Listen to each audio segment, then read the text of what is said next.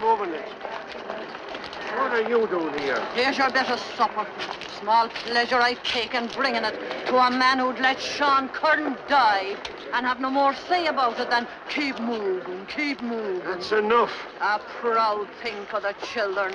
And they at home on their knees be the bed, praying for the miracle that will save the life of the greatest man in Ireland today. Will you go on home? This is no place for you at all. I'll not go till I've said me beads for Sean Curran. Well, say them and don't be interfering with me.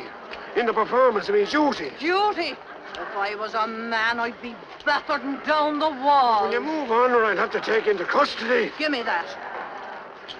Will you move on there, please? Move on now.